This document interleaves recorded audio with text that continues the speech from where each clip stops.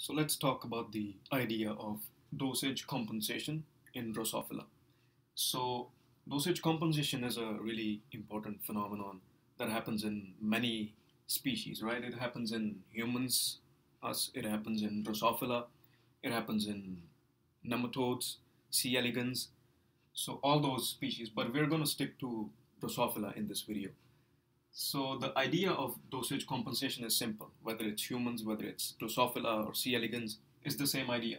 What we're doing is that we are controlling the expression of X chromosome, the genes on X chromosome, either on males or females. So in Drosophila, um, we have the same idea as humans, as us.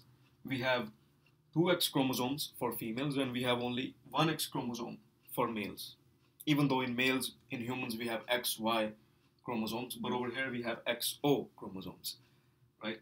And this idea is same, but the difference lies in the mechanism itself and also the idea that in Drosophila, the males are the default sex instead of females. So in humans, we have females as the default sex, but over here in Drosophila, we have males as the default sex. So that's a really important distinction between Drosophila and humans. And so moving on with the mechanism itself, although dosage compensation is really kind of, it's really related to the idea of or the mechanism of sex determination, but we are not going to talk about sex determination in this video. We're going to only talk about dosage compensation in this video. So, and you'll see the differences later. So starting with the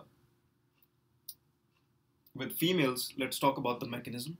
So in females, uh, we have two X chromosomes. So this causes more expression of this gene called SXL gene, which we call sex lethal gene. And since there's more expression of SXL gene, we produce SXL protein or the sex lethal protein. So as a result of that, what this protein does is that it acts as a transcription factor for downstream genes. So the genes that are next in order, right? Uh, these genes are expressed in order. That's really important. And so sex lethal protein will act as a transcription factor for TRA gene, right? So this is the next gene in order, and it will induce the expression of the TRA gene, causing the production of TRA protein. So this protein here is this is really important because this controls the expression of the next downstream gene, which is called the DSX gene or double sex gene.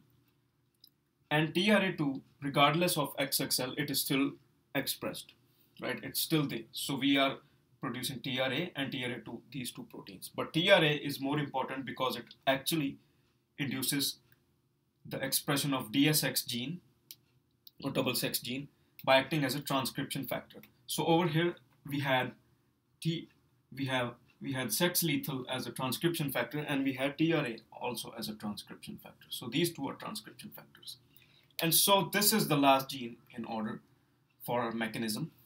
This is actually the last gene in the sex determination, which we're going to cover in the next video or in another video.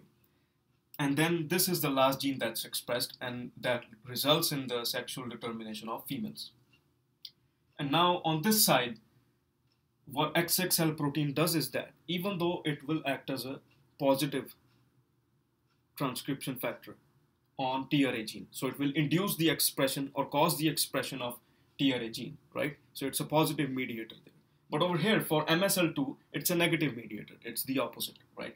So SXL protein will bind to MSL2 uh, gene and it will repress its expression. So we will we won't have any production of MSL2 protein. So there is no MSL2 protein over here. And that's why we don't have any dosage compensation in females. Now over here in males, we have a different scenario. What we have is that we don't have any expression of SXL gene. And I'll explain this in the sex determination video, right? There's a gene called sisterless gene, and in males, we have a sort of different protein product from sisterless genes in males.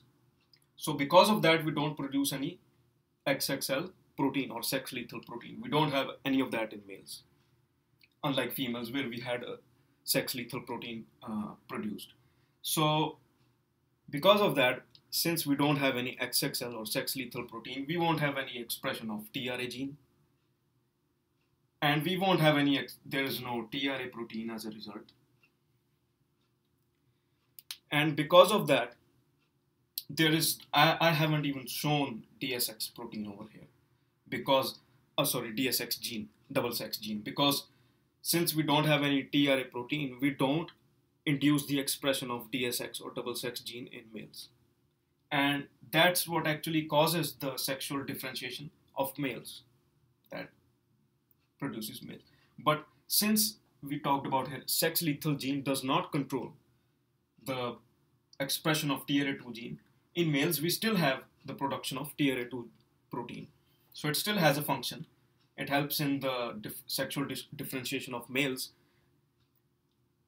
but that's it, right? It's it, it doesn't play any role in the expression of double sex gene. Only TRA does, and we don't have any TRA over, right?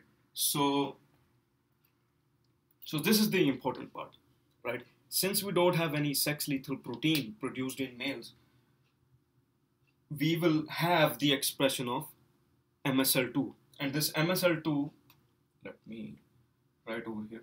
So this MSL2 is called male specific lethal protein or complex. So we call it male specific lethal complex and this actually acts as an epigenetic modifier of the dosage compensation of this X chromosome. So if you're not sure what epigenetic modifier means, I'll explain that in the next video in a detailed mechanism of how MSL2 complex works. But for now, what MSL2 complex will do is that it will cause dosage compensation in males. So it will increase the expression, gene expression by two times, twice of this X chromosome to match these two X chromosomes in females. So that's the whole idea. So we have this, I've shown this big X chromosome in, uh, in males to match the total transcription of genes or total gene expression in the two female X chromosomes. So that's how dosage compensation mechanism works in a, in a broad overview. So we'll go into the detail of how MSL2 act as a complex works and how it induces the, the dosage compensation on this X chromosome in males in the next video. I hope this was helpful.